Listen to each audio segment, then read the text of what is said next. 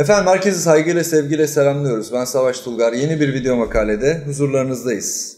Üsküdar Üniversitesi kurucu rektörümüz psikiyatr profesör doktor Nevzat Tarhan hocamızla beraberiz. Ve çok önemli iki kitabı üzerine sohbet etmek istiyoruz bugün. Hazreti Mevlana ile aile terapi ve Yunus terapi. Ben sözü çok uzatmak istemiyorum çünkü hocamızın söyleyecekleri günümüz açısından çok önemli konular. Hemen hocamıza hoş geldin demek istiyorum. Hocam hoş, hoş geldiniz. Teşekkür ederim. Nasılsınız? Çok şükür sağ olun. Sağ olun. ben size de e, teşekkür ediyorum. Böyle e, video makale gibi yeni bir konsept uyguluyorsunuz ve e, insanlara bilgiye kolay ulaşmasını sağlıyorsunuz. Hocam biz de tek, davetimizi kabul ettiğiniz için evet, çok teşekkür tabii. ediyoruz. Hocam isterseniz kitaplar konusuna şöyle giriş yapmak istiyorum. Yani Hazreti Mevlana ile aile terapi ve Yunus terapi. Önce Hazreti Mevlana ile aile terapiden başlayalım isterseniz. Arkadaşlar okumayanlar için özellikle ben e, kitapları da göstermek istiyorum. Kitabın reklamı olmaz biliyorsunuz. Okumadıysanız mutlaka okuyun. E, medeniyetimize dair çok şey göreceksiniz. Hocam size ilham veren ne oldu bu kitapları yazmak için? Kitabı yazmak için e, 2012 yılında e, Mesnevi Terapi yazmıştım. Mesnevi Terapi yazmamın gerekçesinden başlamak daha doğru olur. 2012'de bunu yazdım çünkü e, o 2009 tarihinde e, bir e, Penn State Üniversitesi'nin organize ettiği e, bir sempozyum yapıldı. Sempozyumun adı Mutluluk Bilimi yani Pozitif Psikoloji sempozyumu yapıldı. O ve daha sonra bu bilim dalı olarak e, yayınları, dergisi bütün dünyada yayılmaya başladı.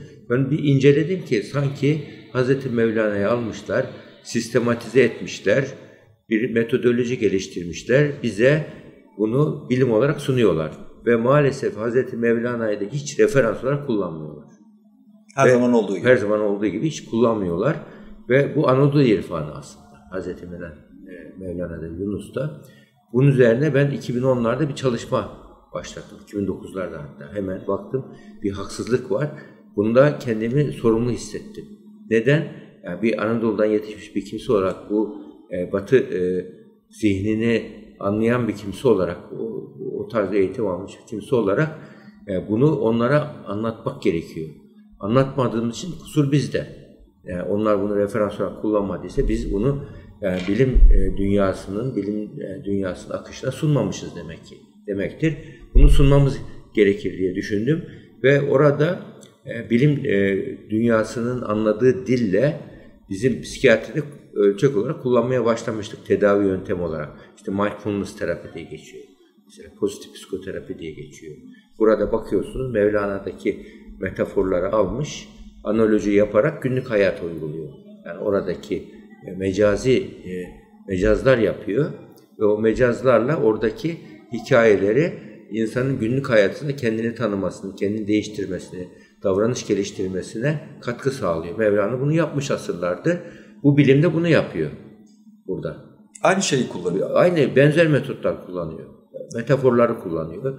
Yani çeşitli metotlar kullanıyor. Mesela öfke yönetimi diyor, bağışlayıcılık diyor, uzlaşmacılık diyor, paylaşımcılık diyor. Bunları bunlar da çeşitli yani e, hikayeler üzerinden anlatıyor. Bununla ilgili geliştirilmiş psikiyatri ölçekler var.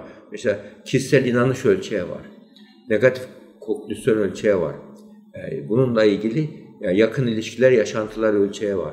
Bu ölçekler, birçok ölçeklere bakıyoruz ki biz tedavi öncesi bu kişiyi uyguluyoruz. Tedaviden sonra o kişinin bağlanma stili, mesela duyguları yönetme, CRQ diye bir test var mesela.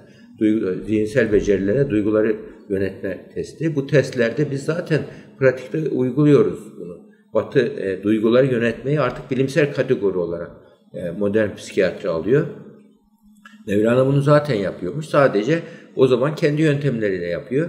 Bunu e, bilimin e, metodolojisini ve sistematiğini kullanarak Mevlana'yı e, Batı zihninin anlayacağı, bu günümüzün insanların anlayacağı bir e, mecraya e, sokmak gerekiyordu. Mesnevi terapi bunun için yapıldı. Yunus terapi de bu, bu amaçla. Yunus'u da aynı şekilde. Yani Yunus'u alıp e, yani uygulamakta daha da zorlandım onu söyleyeyim Yunus terapiyi. E, daha sonra bu e, ailede bir kriz var. Ailedeki kriz nedeniyle Mevlana'nın incelerken ben bir Mevla'da şunu gördüm. çok ilginç e, ezber bozan hikayeleri var Mevlana'nın. Resmen 18 artı diyebileceğimiz hikayeleri var. Böyle müstehcen diye algılanabilen hikayeleri var. Bunları e, kullanmış Mevlana insanların böyle birden şok etmiş. Ondan sonra o şoktan sonra davranışların düzelmesine sebep olmuş insanlara. Yani Mevlana bir metot olarak kullanmış. Bazıları bunu Mevlana'nın bir şey zaafı gibi söylüyor yahut da eleştirisel olarak görüyor. Aslında Mevlana burada çağının üzerine çıkmış. Bir toplumda herkesin bildiği sırlar vardır. Herkesin bildiği sırlar. İşte cinsellik bunlardandır. Bu herkesin bildiği sırları konuşmuş Mevlana. Konuşup ve bunun çözümünü göstermiş. Böyle olunca herkesin birden ezbere bozulmuş. Mevlana'nın yaptığı bir şey bu. Herkesin bildiği sırları deşifre edip insanlarda e, kendinin farkına varması, ailedeki çatışmaların farkına varması ve düzeltmesini sağlıyor. Çünkü hastalık gizli kalınca teşhis edilemiyor. Yani bu gizli kalmış sosyal psikolojik hastalıkların ortaya çıkıp teşhis edilmesini sağlıyor. Onun o müstehcenlik gibi algılanan söylemleri. İşte bunları e, ortaya çıkarmak gerekiyordu. Onları da Mesnevi terapinin devamı gibi olan Hz. Mevlana ve e, aile e, terapisi, Hz. Mevlana aile terapisi kitabında ele almaya çalıştım. İlginç oldu. Tamamen rastlandı. 46 tane hikaye orada ele almışız. Daha çok fazla var ama 46 hikayede 46 kromozom gibi. Yani ailenin sanki Mevlana ailenin kromozomunu yazmış gibi de diyebiliriz. Gibi de diyebiliriz. Evet. Hocam e, kitapta zaten hikayelerle devam ediyorsunuz ama e, burada Hazreti Şems ile Mevlana arasındaki ilişki e, bir açıklığınız var. Bu konuya girmek istiyorum ilk olarak. Hazreti Mevlana ile Şems arasındaki ilişkide e, çok yanlış anlaşılan bir şey var. Yani iki erkek arasında yakın ilişki ve yaşantılar var. Bir odaya giriyor saatlerce bazen günlerce çıkmadan duruyorlar orada. O, o zaman bütün e, dedikodular çıkıyor çok fazla Mevlana'nın zamanında. Ve Mevlana'nın zamanında ailesi parçalanıyor. Çocuğu düşman oluyor. Şems'i öldürmek istiyorlar. Yani ona karşı tavır alıyor, suçluyorlar. Mevlana'ya itiraz ediyorlar. E, ailenin içerisinde özellikle çocuklar arasında böyle ihtilaflar çıkıyor. Böyle böyle bir dönemde hatta e, onun için Hazreti Mevlana zamanında anlaşılmamış vefatından sonra daha çok anlaşılmıştır. Birçok e, Anadolu medeniyetimizde bu çok da çok var, aslında ya. değil mi Yunus hocam? da öyle ya. Yunus da. Yunus hatta Yunus 88 80 küsür yaşlarındayken yere gidiyor, bakıyor birisi kendi şiirini okuyor. Ondan sonra tamam şimdi oldu diyor. Yani insanları artık kabullendi gibi. Yani o kadar da 80 en son sonuçta Yunus şeyi yazıyor işte. E, e, Risaletin Suhiye'yi yazıyor. Nasihat Risalesi'ni yazıyor. Mesela, ve o kitap haline kendi zamanında getirdi. Tek kitap oldu o söylenir. Yani onu yazıyor. Orada da e, bütün e, e, daha sonradan vefatından sonra bu yaptıkları anlaşılıyor.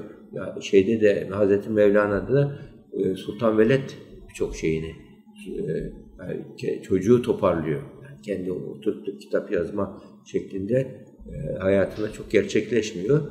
Bu nedenle bu ne, neden, ne özelliği var ki Hz. Mevlana bu zamanda bile halen merak, ilgi çekiyor. Hatta ilginçti o hikayeleri alıp oradaki bilge sözler alıp Batı müthiş bir şekilde okuyor. Bir sürü kitap var Rumi diye. ve bununla ilgili yüzlerce web sitesi var İngiltere'de. Hocam sizin tabirinizle söylemek istiyorum. Batı Yunus ve Mevlana'dan bu kadar faydalanırken biz hazinenin üstünde oturuyoruz, hiçbir şey yapmıyoruz dediniz. Evet yapmadık ve bunu gördük ve bunu maalesef bizde yani Batı hayranı olan böyle e, sadece fen bilimleri eğitimi almış bir şey var. Yani büyük bir çoğunluk var. Bu çoğunluk bunun e, farkında değil. Yani biz yani Batı üstün kültür, biz üstün kültür değiliz. Batıya ökünmek zorundayız. Modern olmamız için Batı gibi olmamız lazım. Batı kültürünü içselleştirmemiz lazım tarzında yani eskimiş bir tezi e, savunuyorlar. Halbuki şu anda Batı e, e, kültürüyle Doğu kültürünün köprü kurması gereken bir dönemdeyiz. Yani Batı, Batı'nın da bulduğu, keşfettiği birçok insanlığa kattığı medeniyet değerleri var. Ama şu anda Batı medeniyeti krizde. Batı medeniyetin kriz olduğunun en büyük e, psikiyatrideki karşılığı Kaliforniya sendromudur. Kaliforniya sendromu nedir? dört tane ana belirtisi var. Birincisi hedonizm yani zevkçilik. Zevkini yaşam amacı olarak gören bir yaşam felsefesi. Zevkinde peşin koşulmayı. Mutluluğu kendi zevkinde zevkinin peşinde koşma olarak görüyor. Bu e, var. İkincisi narsizm ortaya çıkıyor. Narsizm nedir? Narsizmde kişinin ben merkezci olması var. Kendini özel, önemli, üstün görmesi var. Sadece kendi çıkarını düşünmesi var. Kendisinin dışındakileri ötekileş, ötekileştirmesi var. Böyle bir insan tipini modernizm besliyor. Bu iki yani hedonizm ve narsizm birleştiği zaman böyle yıllar içinde geçiyorsun ki insan gücü zayıflayınca, güzelliği gidince, e, kadınlarda, erkeklerde gücü zayıflayınca yalnız kalıyorlar. Yalnızlık şu anda Batı dünyasının en büyük psikososyal sorunu. İngiltere Yalnızlık Bakanlığı kurmaktan söz ediyor. İngiltere, Norveç ve 8,5 milyon İngiliz ileri yaşta yalnız yaşıyor. Evde ani ölümler var. E, Almanya'da iki yaşlı birden intihar ediyor. Üç buçuk aydır kapımızı e, kapıcıdan başka çalan olmadı diye. Böyle bir medeniyet krizi var. Bu medeniyet krizine çözüm üretirken Mevlana'nın değerlerini, Doğu'nun değerlerini keşfetti Batı. Ve bunu e, metodoloji halinde bize sundu. Biz kendi e, üzerinde yattığımız hazinenin yani kendi e, kaynaklarımızın, değerlerimizin e, keşfetmemiz gerekiyor. Benim öğrencilik yıllarımda böyle su akar, Türk bakar derlerdi. Baraj yok diye. Mühendisler hep itiraz ederlerdi. Yani bu kadar enerji varken baraj yapamadığımız için şimdi yapıldı, çok mesafe alındı.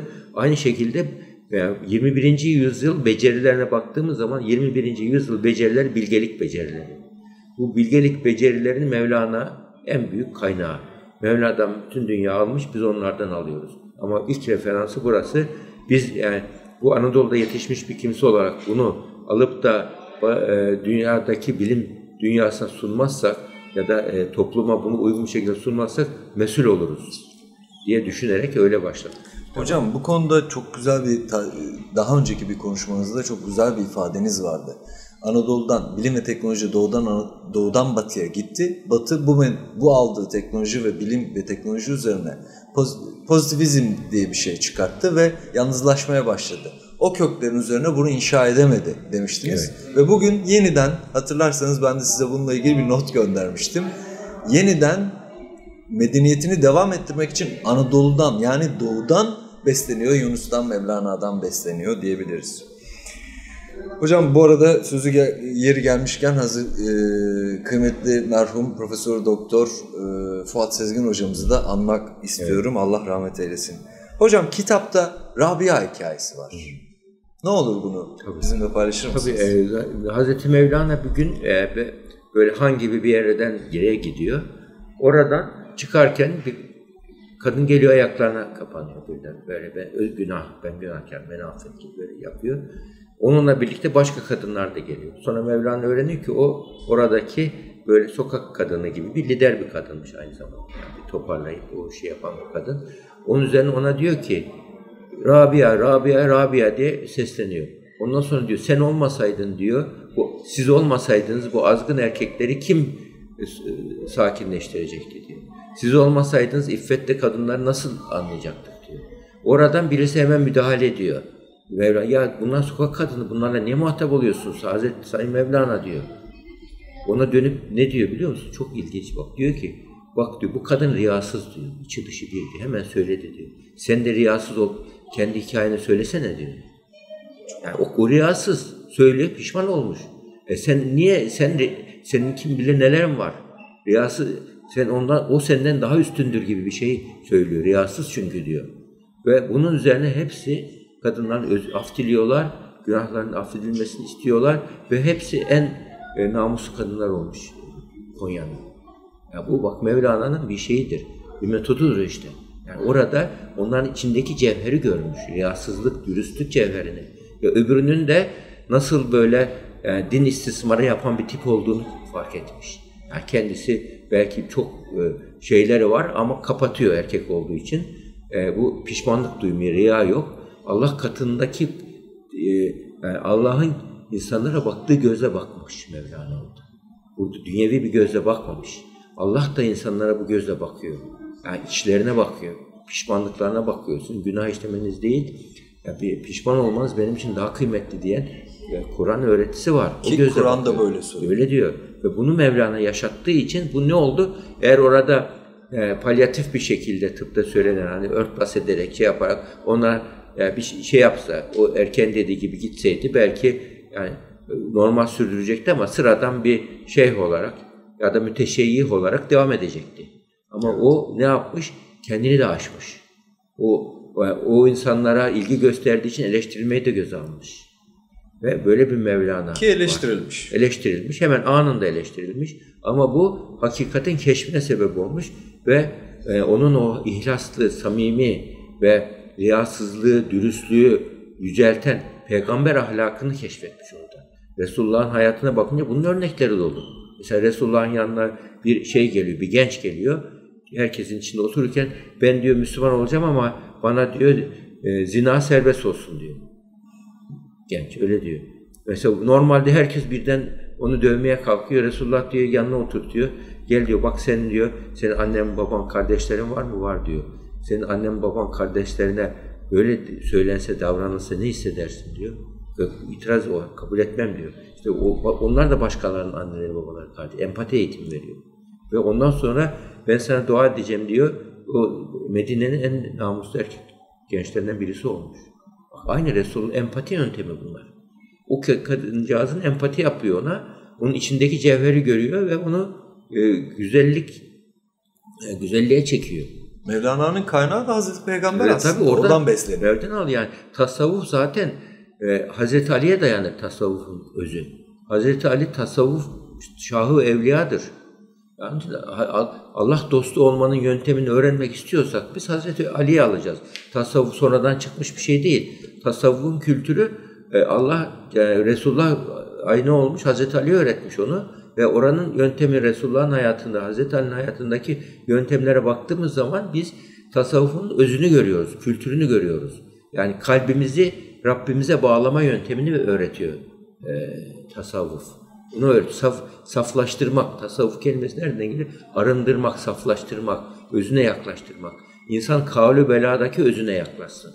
Dünyadaki kesretin, maddiyatın kirliliklerinden sıyrılıp e, sadece seküler olan, dünyaya yaşayan kalbimizi ölümden sonrasına da bağlayabilmeyi öğretiyor tasavvuf.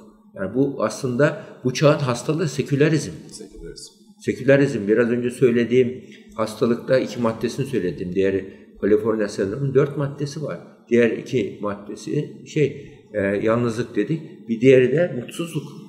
İşte evet. niye bu? Günümüzün hastalığı hocam. Günümüz hasta insanlar mutlu değil. Mutluluk bilimi diye bilim geliştiriyor ve şu anda pozitif psikoloji mutluluk bilimini Harvard 2015 yılında ders olarak koydu. Çığır açan dersi anons etti. 2018 yılında Yale koydu ve Yale 1200 kişi başvurmuş. Yale tarihinde en çok tercih edilen derste web sayfasına koyuldu ve en sonunda 2019'da da İngiltere'de Bristol Üniversitesi bunu ders olarak koydu. 2019'da e, biz Üsküdar Üniversitesi 2013'te koyduk bunu dersi. İnşallah. Okulda okutuluyor ve bunu okuyan öğrenciler arkadaşımla aram düzeldi, babamla aram düzeldi diyerek hayata e, o gözle bakarak e, derslerinde çalışıyorlar, ilişki kuruyorlar. Sosyal becerileri, yaşam becerilerini bu şekilde kazanıyorlar. Yani bu zamanın e, e, e, e tasavvufun özünü yani iyi insan olmanın aslında iyi insan bilimi bu. İyi insan olmanın özünü e, daha önce bu e, e, dini bilimsel dini sağlamlıkla öğretiliyormuş bu bilgiler. Şimdi biz bilimsel sağlamlıkla aynı bilgileri öğretiyoruz. İyi insan olmanın temelini.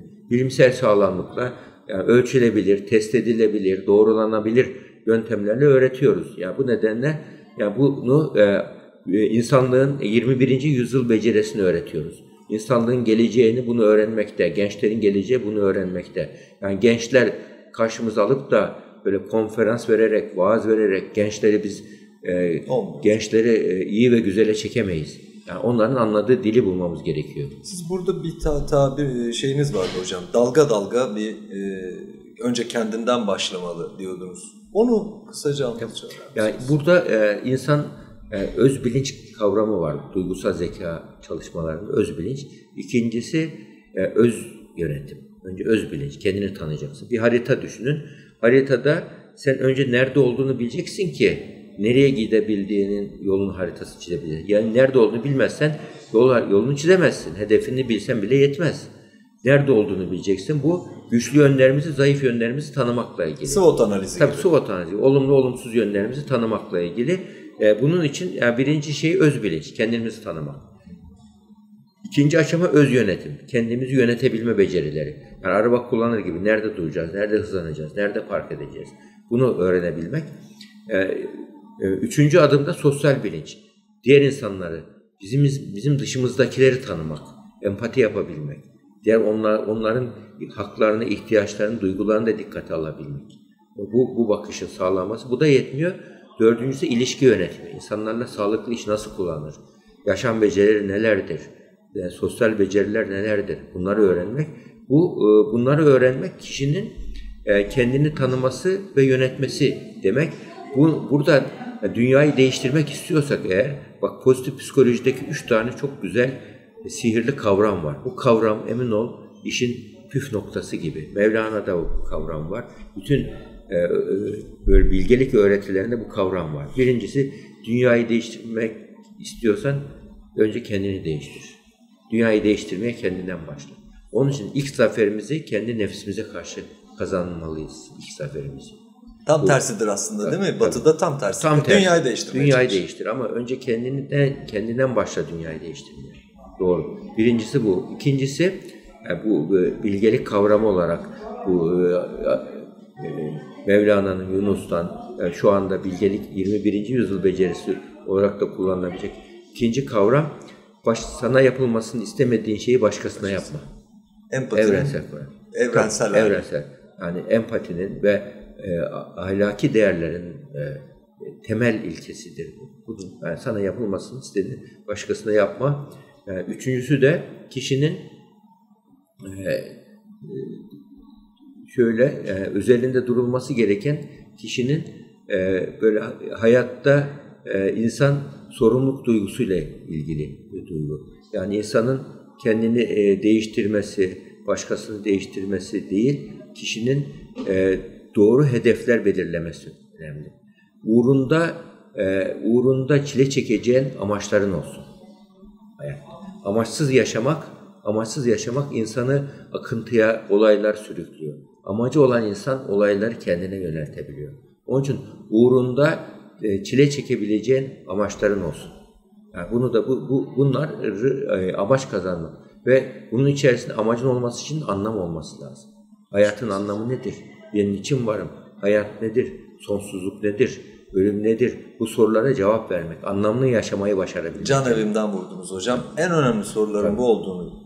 Tabii. Sizden bunu isteyecektim. Kalbimdeki soruya Evet. cevap verdiniz. Aynen öyle. Şimdi hep böyle söylenir. Din sosyal bir olgudur. Doğru, sosyal bir olgudur. Ama din her şeyden önce varoluşsal bir olgudur. Ben dünyaya niçin geldim? Amacım nedir? Ne yapmam lazım? Bu soruyu sormak. İnsan bir yere gittiği zaman bir yer, birisi o bir diyelim bir e, padişah seni çağırdı. Bir sultan, bir hünkâr seni çağırdı. Ya beni niçin çağırdı diye sormaz mısın? Sana büyük bir ziyafet verdi ya bunu bana niye verdin diye sormaz mısın? Yani basit bir insan yiyip içip masadan kalk gidersen nankör olursun sen. Ya bunu sağırdı, bu kadar bize ikram etti, bu kadar nimetler verdi, bu kadar güzel şeyler yani vardı. Ağaç, böcek, kuş değilim, insanım. O halde bunun e, bir sebebi, anlamı olması, bunun karşısında benden bir şey istiyor olması lazım diye sorması lazım. Akıllı bir insan bu anlam arayışıdır işte. Kendi anlam arayışıdır. Onun için bu varoluş sorusu da şu çok önemli. Bunu çok e, söylüyorum ben. E, Bizim e, iyi insan olmamız, iyi insan olmamız erdem değildir. İyi insan olmamız varoluşumuzun kirasıdır. Yani biz ancak iyi insan olarak bu kadar sahip olduğumuz nimetlerin ancak kirasını belki ödeyebiliriz. Belki. Belki o da. Yani onun için fazladan eğer e, e, kainatı yaratan bize cennet veriyorsa fazlından veriyor. Biz hak ettiğimizden değil. Biz yani insan olabilmemiz bile yani bu, e, onun e, varlığının ve ona karşı şükran if- e, duygularımızı ifade etmenin sonucudur. Onun için bir, e, bir üçüncü üzerine durulacak şey de insanın sahip olduğu şeylerin kıymetini bilmesidir. Ve şükrünü. Üçüncü eder. kavram. Üçüncü kavram. Amaç kavramı da önemli. Anlam katmak kavramı da önemli. Ama sahip olduğun şeyin kıymetini bil. sıradan şeylerden zevk almayı başar. Bu da minnettarlık duygusu. Minnettarlık eğitim olarak veriyoruz bunu. İnsan yani bunu e, bu duyguyu yaşadığı zaman insan insan ilişkileri daha kaliteli oluyor. Hocam tam buraya gelmişken bütün konuştuklarımızın ışığında günümüzde aileyle ilgili çok ciddi bir sorun var. Boşanmalar arttı, evlilikler kötü durumda. Aile terapi üzerinden ve şu ana kadar konuştuklarımızın ışığı açık bakımından ailede sorunumuz ne? Nerede yanlış yapıyoruz? Ailede ailede bu şimdi şey bir vücudu düşün. Yapı taşlar nedir? Hücrelerdir. Hücrelerin toplamı bir. Bir binayı düşün. Yapı taşları vardır. Onların bir araya gelmesiyle bina oluşur. Toplumda yapı taşı aile. Aile en küçük birim toplumun. Aile dağıldığı zaman o toplumu bir arada tutan bağ kalmıyor. Tutamazsın toplumu bir arada. Yani ve e, eğer aile dağılırsa e, e, üreme insanlıkta bitecek. Yani insanda hayvansal duygular ön plana çıkacak. Yüksek soyut duygular yerine yemek içmek, üremenin dışında başka bir amaç kalmayan bir insan grubunun maymundan ne farkı kalır ki? Yemek, içmek, üremek tek yaşam amacı bu. O zaman ne farkın var ki maymundan? Hiçbir fark. Hiç fark yok. Yani onun için yani burada insanın yüksek değerleri olacak, soyut değerleri olacak. Yani, yani mesela maymunları bir araya getirip topluyorlar. Maymunlar bir toplum oluşturamıyorlar. Bir cemiyet oluşturamıyorlar, bir devlet oluşturamıyorlar. Çünkü onların öyle bir genetik kodları yok. Ama insanlar bir araya geldiği zaman bir müddet sonra bakıyorsunuz örgütleniyorlar, organize oluyorlar, aile kuruyorlar ve bu e, bir e, yapı haline getiriyorlar. E, ce, cemaat ve cemiyet oluyorlar. Yani sosyolojide kullanılan. Bütün bunların olabilmesi, olabilmesiyle be, beceri insanda var. Yani bu insan nedeniyle insan aile olmadığı zaman bunları bu, bu konuda dağılma yaşıyor. Bak cins, şeylik biyolojik duygumuz, cinsellikle ilgili duygumuz eşleşmeyle ilgili. Ama aile duygusu kültürel bir duygu, öğrenilerek oluşuyor insan. Yani öğrenilerek oluşuyor. Bu e, aile dağıldığı zaman ne oluyor? Ve bir müddet sonra e, biz e, özellikle e, e, 1800 materyalizmin e, dünyaya hakim olmasıyla 1800 yıllarla birlikte yani madde esastır. E, soyut bilgi ikinci plandadır. Diyalektik materyalizm ne diyordu? Önce madde var. Maddeye diyalektik olarak yani sebep sonuç ilişkisi olarak soyut bilgi ortaya çıkmıştır. Mana ortaya çıkmıştır. Mana sonuçtur. Esas maddedir diyordu. Ama şu anda kuantum dinamiğinden sonra anlaşıldı ki madde sonuçtur, sebep değil. Önce bilgi var, ondan sonra enerji var, ondan sonra kimya var, enerji yani fizik var, ondan sonra kimya var yani madde var, ondan sonra biyoloji var yani canlı var. Yani böyle bir hiyerarşi var. Bu hiyerarşi içerisinde e, insan maddeden oluşan bir varlık değil. O halde insanın e, mana boyutu da var. Yani şimdi şu bir kitabı aldık biz. Bu kitaba bakarsın ya ne güzel baskı, mürekkebi ne güzel, harika yazmış işte ne güzel e, süslemeleri var filan dediğimiz zaman ve içindeki mesajı okumadığımız zaman bu kitabı yazana saygısızlıktır. Ya bu asıl bu kitabı okuyorsan bu kitabın e, içindeki anlam için okuyorsun. Dışındaki süsler, güzellikler onun ikincil e, fonksiyonudur. İkinci, Birincil fonksiyonu içindeki içeriği. İçeriğidir. E şimdi bak kainat bir kitap gibi. Kainat kitabını okuyorsun ama bu ağaçlara, bu kuşlara nasıl yani şu andaki bilim evrenin nasıl yaratıldığıyla ilgileniyor. Neden yaratıldığı sorusu benim işim değil diyor evren. Felsefenin işi diyor, dinin işi diyor bu işi. E, biz neden yaratıldığına akıl yürütme yöntemleriyle ele almamız gerekir. Bak 1990'lı e, yıllardan sonra bir psikoloji, insanlık bir devrim yaşadı. Yani daha önce inanç ve duygular bilimsel kategori kabul edilmiyordu. Bilimin menzili dışındaydı. 90'lı yıllardan sonra beyin keşfedildikten sonra beynin nasıl çalıştığı, e, duygularla ilgili çalışan beyin alanları var. İnançla ilgili beyin alanları var. Yüksek inançlara sahip insanların beyninde bütün kişilik sınırları ortadan kalkmış, bütün ihtiyaçlar giderilmiş, bütün istekler karşılanmış gibi müthiş bir haz, haz oluyor. O hazla birlikte beyin aktif çalışıyor, mutluluk hormonu salgılıyor. İnanca, inançla birlikte. O halde artık inanç da bilimsel kategoridir. Şu anda duygular ve inanç bilimsel kategori olarak değerleniyor ve inancı artık laboratuvara soktuk biz. Ve MR cihazı içerisinde e, Budist rahiplerin e, deneyleri yapıldığı gibi biz e, burada Üsküdar Üniversitesi olarak e, bu e, sema meditasyonun MR cihazı içerisinde beynin nasıl çalıştığını tespit ettik ve yayınladık bunu GNBC dergisinde, GNBS dergisinde yayınladık. Ve bu, bu, burada e, MR cihazı içerisinde beynin anterior singular gyrus diye bir bölgesi var. 16 denekte başlamıştı. Bir yüksek lisans tezi yaptık. 15 denekte biri drop oldu, düştü. 15 e, denekte beynin emosyon regülasyon, duyguları regüle eden bölgesi aktif çalışır çıktı. Yani kişi aslında e, meditasyonu hayal ediyor. Yani derviş dansını hayal ediyor. Sadece hayal, Sadece hayal ediyor, yapmıyor. Yapmıyor. Beynin duyguları regüle eden alanı aktif hale geliyor. Yani demek ki arkadaş duygular bilimsel bir kategoridir. Dir. Dini ritüeller bilimsel bir kategoridir. İnsanı mutlu ediyor, insana e, birçok e, fizik ve ruh sağlığına iyi geliyor. O halde biz bunu uzmanlık alanımıza almamız gerekir diye düşünüldü. Aynı şey aile için de geçerli. Yani ailedeki dağılmanın sebebi araştırıldı, araştırıldı. Bu e, Kaliforniya sendromunun dört ana belirtisi boşanmayı artıyor. Mesela kişi ben dünya bir defa geldim, canımı istediğini yaşayacağım. Yaşamın sebebi zevk almaktır. Zevk almıyorsa niye yaşayayım gidiyor. Eşi hasta oluyor, bırakıveriyor. Hocam Çocuğu hasta oluyor, bırakıyor. De, bir kere de öleceğiz ama yani. Ölmeyi düşünmüyor insanoğlu işte. O kadar sekülerizm ki ölüme karşı körlük var modernizmde şimdi.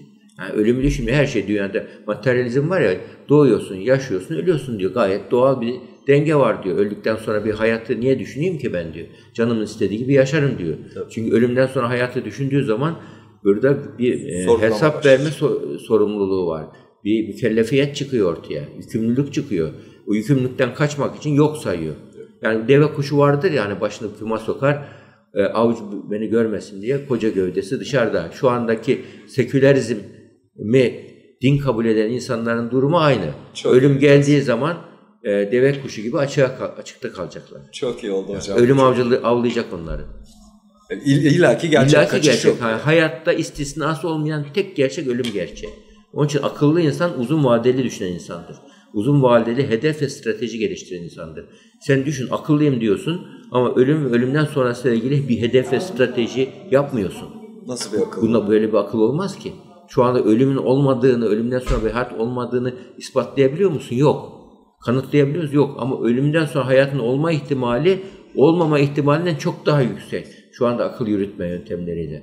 Onun için ailenin parçalanmasının en büyük sebebi egoizm. Kadın erkek savaşları. Benim dediğim, senin dediğim, benim annem senin annem, benim param senin paran kavgası. Nefs. Bu müddet sonra yani burada aileye girdiğin zaman ben bilinci ön plana çıkıyor modernizm. Halbuki ailede olunca takım olacaksın, biz bilinci olacaksın. Biz bilinci. Ben şuna benzetiyorum. H2O biliyorsunuz. Su formülüdür. Hidrojen ve oksijen atmosferde serbest geziyor. Özgür. Sorumsuz, rahat. Ama aşk bir araya geldiği zaman su oluyor. Kısıtlanıyor hayat ama yeni bir hayat kaynağı oluyor. Yani oksijen ve hidrojen ben özgür olacağım derse e, hem özgür olacağım hem su molekülü olacağım derse mümkün değildir. Evlenen bir insanda özgürlükten fedakarlık yapıyor ama başka bir yaşam kaynağına sebep oluyor. Yeni bir yaşam formuna dönüştürüyor kendini. Yeni bir zevk alanları oluşturabiliyor. Evlilik olgunluğu dediğimiz durum olursa, yani evlilik olgunluğunu kaçıp kaybettiği için insanlık ailede dağılma var. Evlilik olgunluğu da evlilik sorumluluğu demektir. Evliliği, evlilikle ilgili yani yüksek duyguların kaybedilmesi demektir. Evlilikle ilgili e, bilgeliğin yok olması demektir. Bunun için e, aile dağılıyor. Dağılması sebebi de tamamen sekülerizmin insanı bencilleştirmesi ve yalnızlaştırması gibi bir süreç e, diyebiliriz. Hocam burada en önemli konulardan biri de çocuklar. Hı. Çocukların özellikle çocukların aile içerisinde çocukların yetiştirilmesine ilişkin bir şeyler söylemenizi çok istiyorum çocukları yetiştirmekte çok büyük hatalar yapıyoruz. Evet. Bunun için ne dersiniz? Yani oradan neresinden başlayayım ki? Derdime dokundum. Yani hakikaten biz çocuk Benim de derdim de hocam onun için. Çocuk psikiyatrisinde çocuklar geldiği zaman %70-80 çocuğu bırakıp anne babanın tutumlarıyla ilgileniyoruz. Yani öyle bir tutum hatası var ki hiç iyi niyetli anne baba ama farkında değiller.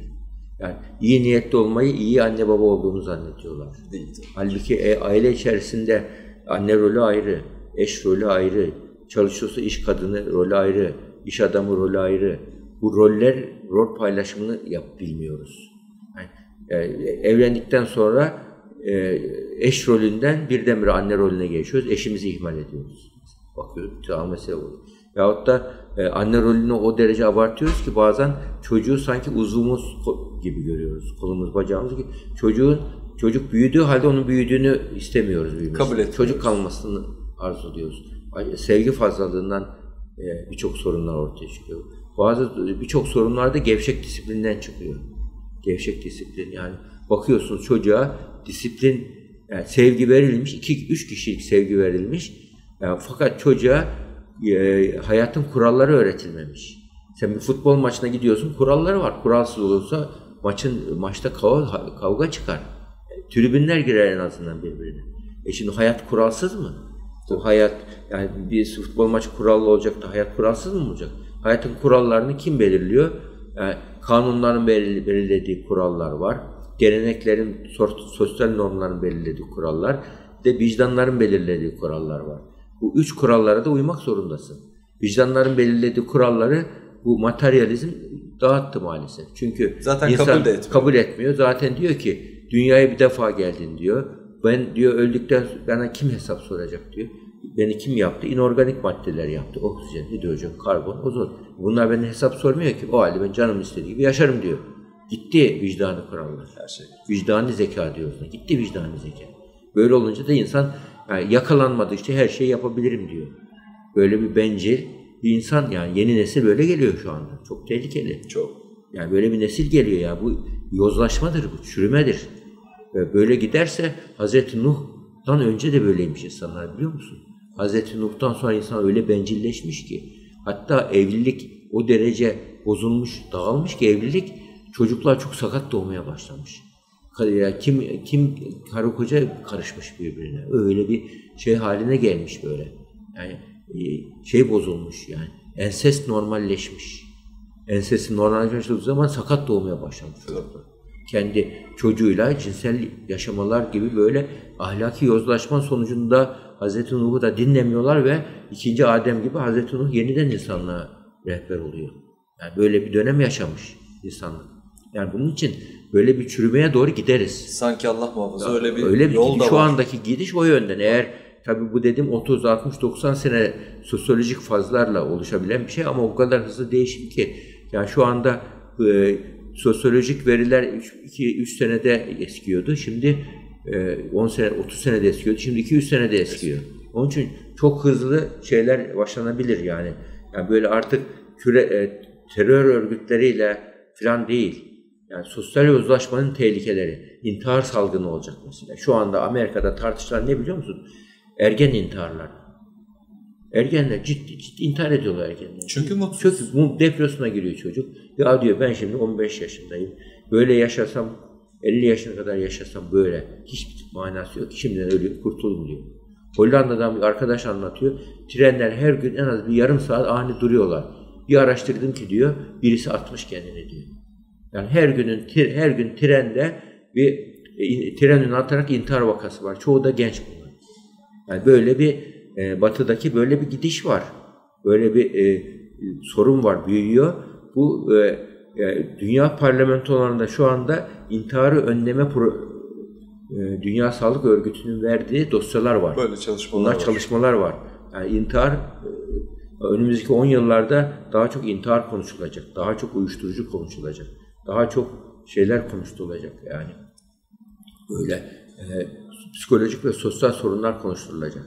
Bunların konuşulmaması için biz işte terörle, şununla, bununla oyalanıyoruz. Asıl şeyi kaçırıyoruz burada. Yani biz hani güncel siyasetle, güncel böyle haberlerle uğraşırken çoluğumuz, çocuğumuz gidiyor. Çocuğumuz popüler kültürün çocuğu. Çocuğumuz sokağın çocuğu oldu. İnternetin çocuğu oldu. Bu bizim çocuğumuz değil. Değil. Çocuğumuzu biz bitmiyoruz. İnternet, e, televizyon, cep telefonu evin açık kapısı. Oradan evin güvenli ortamında her türlü güvensiz bilgi, çocuğun yaşına olmayan bilgi önüne geliyor. Böyle bir durumda çocuklar çocuklar bir ciddi bir tehlikeye maruz. Ama çocuklar öyle ki bunu da korku panik yapmamak lazım. Çocuk bu bilgileri alıyor, bakıyor anneye babaya. Eğer anne baba iyi bir örnekse çocuk toparlıyor hemen dönüyor. Onun için çocuklarımızı biz eğer iyi e, e, zamanın ibni vakit olmasıdır. Hani çocuklar zamanın çocuğu olurlar. Hani Hazreti Ali diyor ya çocuğun zaman çocuğu olarak da daha sonraki zaman çocuğu olarak yetiştirin diyor o derece. E, biz yetiştireceksek çocuklarımızı bu zamanın değerlerini öğrenecek ama kendi kök değerlerimizi de öğreteceğiz onlara. Kök değerlerimizi öğretmezsek çocuk zamanın kölesi olur. Zamanın araçlarını kullansın ama kendi kök değerlerimizi koruyarak olsun. Çünkü yerel olmadan evrensel olamazsınız. Mümkün değil. Yerel değerlerimizi yaşatacağız ama evrensellikten kopmayacağız. Mevlana'nın pergel, evet. pergel metaforundaki gibi, pergel değil gibi, mi hocam? Evet, onun gibi olacağız. Yani bir ayağımız yere basacak ama bütün dünyayı gezeceğiz. Biz e, maalesef bu e, modernizmi yanlış anladık. Sanki iki ayağımız havada gibi. Yani bütün kökle bağlantımızı koparalım. Sadece e, Batı'nın e, taklidini yapalım. E, kurtuluş buradadır diye. Mesela e, Cumhuriyet'in ilk yıllarındaki yanlış söylemlerinden birisi de din terakkiye manidir söylemi. Din terakkiye manidir, din ilerlemeye manidir, gelişmeye manidir söylemiydi. Bugün bilim tam tersi olduğunu ispat etmiyor İspat hocam. ediyor ama tam da ispat e, yani ispat ediyor ama yeni yeni ispat etmeye başladı. Evet. Daha önce bunu akıl yürütme yöntemleriyle tahmin edebiliyorduk. Mesela teorik fizik akıl yürütme yöntemi. Teorik fiziğin ete kemiğe bürünmüş şekli MR cihazıdır. MR cihazı çıktıktan sonra artık kimse atom altı parçacıklar yok ben görmedim diyemez. Ee, aynı bunun gibi şu anda ölümden sonra hayatın varlığı yaratıcının olması gerektiği yani yaratılış teorisinin artık bilimsel bir teori. Bak e, evrim evrimi savunanlar şöyle söylerler. İnsanın varoluşunu açıklayan iki görüş vardır. Biri yaratılış, ikincisi evrim. Yaratılış bilimsel olmadığı için biz evrimi konuşacağız. Evrim e, varoluşu açıklayabilen tek teori odur. Yani ne kadar doğrulanabilir olsa da olmasa da bilemiyoruz ama e, tek açıklayan teori odur diyen bir şey var. Tez vardı ama şimdi gözüküyor ki artık yaratılış da bilimsel bir teoridir. Yaratılış teoridir ama bunu şu anda bilim çevreleri daha tartışıyor, kabul etmedi tam. Yani bu, biz bunu Üsküdar Üniversitesi olarak yaratış sempozyumu yaptık. Urfa'da yapıldı, bu sene Iğdır'da yapılacak. Yani biz yani evrim kendi içinde artılar var, eksileri var. Doğrulanabilen kısımlar var, doğrulanmayan kısımları var. Ama maksat e, varoluşu açıklamak. Varoluşu açıklamaksa e, e, ikinci bir önemli teori de yaratılış teorisi. Onun için evren teorisi okutuluyorsa yaratılış teorisi de okullarda okutulmalı. Yaratılış da bir seçenek olarak okutulmalı. Sadece evrim okutmak burada e, geleceğe kaçırmış oluyoruz. Yani gelecekte bilimle din ve bilim e, muhakkak çocukların zihinde e, aynı anda eşlik etmeli. Yani şu anda biz e, Batı'yı e, e, teknolojide birçok alanlarda Batı'dan ileri şeyler yapıyoruz ama bu zihinde tam birleşmedi daha. Zihinlerde bunu birleştiremedik.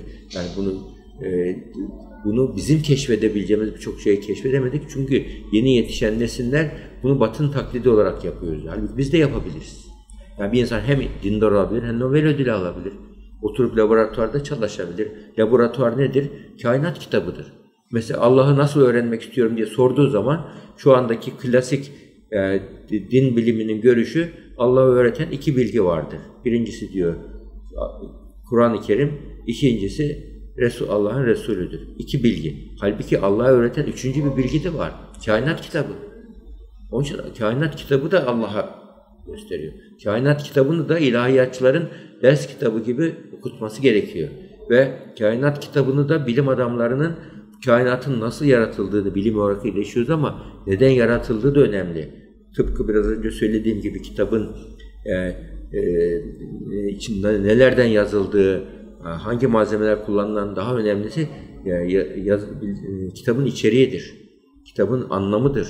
Kainat kitabının da anlamını muhakkak veya bilim okumak zorunda. Bunu yapmazsa e, hayatı kaçırır. İyi bir Nobel adamı olur ama e, öldükten sonra hayatta hesap veremez bunun hesabını. Hocam çok önemli bir şey söylediniz. Hayatı kaçırır. Ne demek? Evet. Hayatı kaçırır çünkü Altın ölüm yaklaştığı zaman anlıyor birçok insan.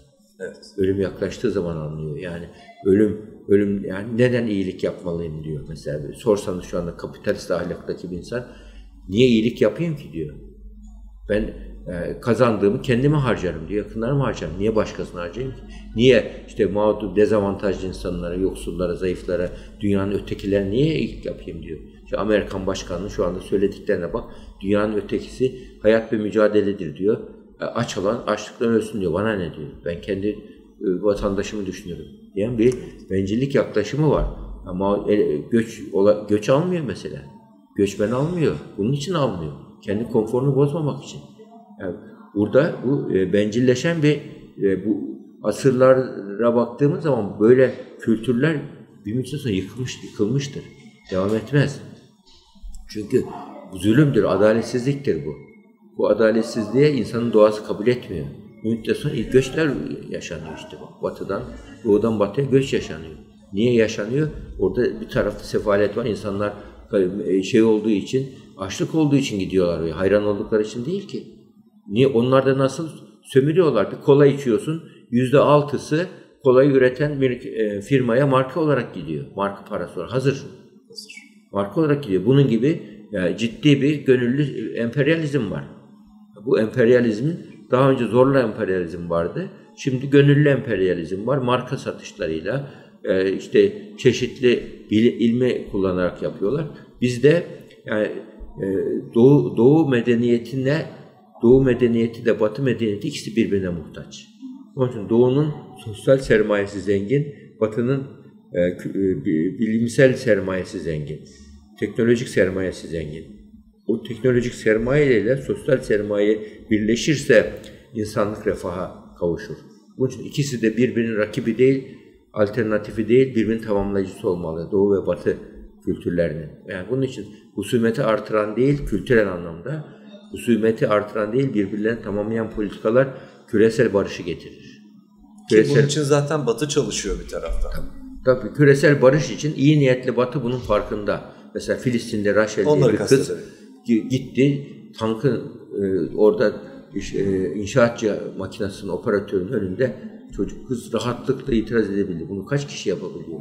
Ben iyiyim diyen bir insan. Onun için insanlık ölmedi. İnsanlık, insanlığın özü daha çok hakikate çıktı. Çünkü batıda çeşitli baskılar vardı, istibdatlar vardı. Kilise istibdadı vardı, çeşitli siyasi istibdatlar vardı. Bunlar kalktı ortadan. Bunlar kalkınca insanlığın iyi özellikleri batıda neşvi nema bulacak, gelişecek ve batı hakikat arayacak. Ya yani onun için ben normalde eğer bir olağanüstü bir şey olmasa batıda bir, e, bir İslam Müslümanlaşma hızının hızının artacağını tahmin ediyorum. Hatta bir e, batıda bir e, kuzey e, Avrupa ülkelerinde olma ihtimali yüksek. Yani İslamiyet'i din olarak kabul etmeye doğru gidiyor insanlar. Bunu söyleyebilirim. Hocam tam bu noktada evet. aynı şeyi düşünüyoruz. Ben de bu İslamofobi çıkmasaydı orada bir patlama olacağını Tabii, düşünüyorum. Hızlı bir İslamlaşma vardı Mümkün. İslamofobiden önce. Ama bu İslamofobi aslında kötü olmuyor. Böyle hakikati araştırmaya seviyor. Bir arkadaş anlat. Şeyde oluyor. İngiltere'de ateist birisi radyodan bir anons yapıyor. Gelene bir yardım getireceğiz diye bir anons yapıyor getiriyor. Ondan sonra şöyle planlıyor. E, o getiren kişiye soracak şunu. Bunu sana şeytan gönderdi diyecek. Yani ne diyecek diye merak ediyor. Bir deney yapmak istiyor adam bir ateist birisi. Bunu şeytan gönderdi diyecek. Bunu yapıyor. Bir Somali'de bir kadın geliyor. Şey yapıyor. O e, yardımı geliyor alıyor ve hiçbir şey demeden gide, giderken diyor ki peki bunu kimin verdiğini sormayacak mısın diyor. Bunu kim gönder bunu gönderen Allah onun için ben e, kimin aracı olanın hiç önemi yok benim için diyor. Adam ondan sonra bir şok oluyor. Şok oluyor. Araştırıyor, araştırıyor, Müslüman oluyor. Deneyi yapan. Çünkü Allah'ın soyut bir varlık olduğunu düşünmüyor mu? Somut bir varlık gibi düşün. Yani böyle bunun için hani Karadeniz'in de var böyle hikayesi. Karadeniz'in birisi bir gün şey yapmış. Ve ben her şey Allah'tan, her derviş olmuş. Her şey Allah'tan, her şey Allah'tan diyor temel. Sonra birisi gelmiş ensesine şak diye vurmuş böyle. O da dönüp bakmış. Ya demiş hem her şey Allah'tan diyorsun hem de e, dönüp bakıyorsun demiş o da ona. Allah hangi eşeği görevlendirdi ona bakayım. Hocam e, evet. size doyum olmaz. Vaktimiz de bitmek üzere. Çok teşekkür ediyoruz. Harika bir program oldu. E, fevkalade faydalandım. Devamını yapmayı çok isterim. E, İnşallah. Bunlar üzerine. Efendim bir video makalenin daha sonuna geldik. Çok kıymetli hocamız, bilim insanı Profesör Doktor Nevzat Tarhan hocamızın kitaplarını da sizlere tavsiye etmek istiyorum. Özellikle aile terapiyi, e, Hazreti Mevlana ile aile terapiyi Yeni bir video makalede görüşmek üzere. Hoşçakalın, esen kalın efendim.